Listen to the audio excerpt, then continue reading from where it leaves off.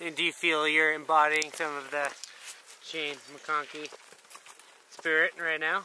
Yeah, absolutely. I mean, everything about the, this is like Saucer Boy and Shane. Like doing something that is super gnarly and really sketchy, but trying to make light of it and not take yourself seriously. And you know, handlebar mustache, pit vipers, and some snowblades is all you really need.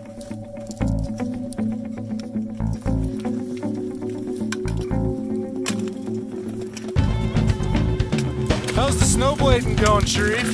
Right now it's just the climbing, but I'm pretty scared for the blading to be honest.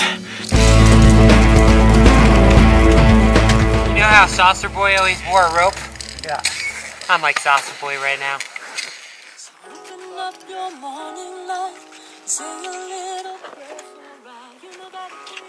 Just making our way. Final push. For our lives to be over. What could it be? So where are you going snowblading? Down the Grand Teton.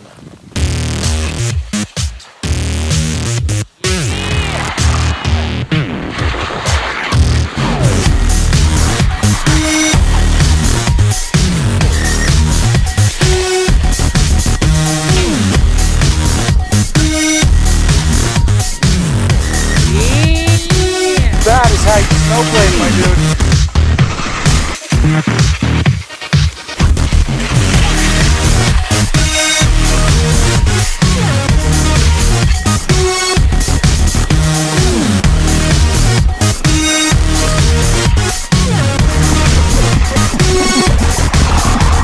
Making big mountain blading history.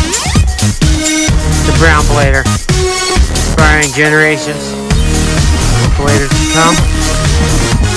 Taking bladers to new elevations, new technicalities, new summits.